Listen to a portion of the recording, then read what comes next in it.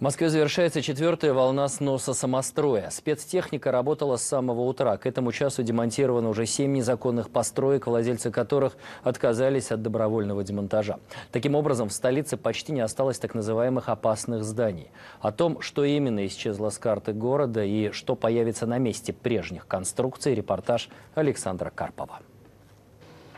Четвертая волна сноса смыла с улиц Москвы десятки объектов, среди которых не только уличные ларьки, но и внушительные торговые центры.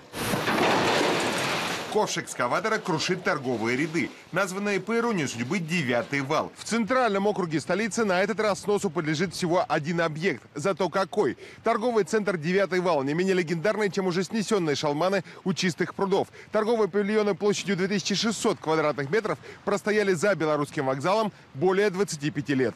Жители окрестных домов вздохнули с облегчением. Устали от грязи и криминала, царивших вокруг разраставшегося, как коралловый риф, стихийного торжища. 90-е лихие, какие-то распродажи шуб, таможенный конфискат.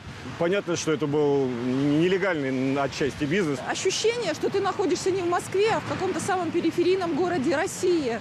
И вот сейчас, когда его сносят, вы видите, какая панорама открывается. Да? Историческая застройка конца 19-го, начала 20 века. Самые крупные объекты, попавшие в список четвертой волны сноса самостроя, это центр обуви возле метро «Водный стадион», торговый центр «Тук-Тук» на Ореховом бульваре, торговые ряды на Грузинском валу и стройцентр в Духовском переулке. Всего в списке 54 незаконных объекта. 12 из них находятся в технической зоне метрополитена, 30 на инженерных коммуникациях и системах газоснабжения, еще 12 на территории общего пользования.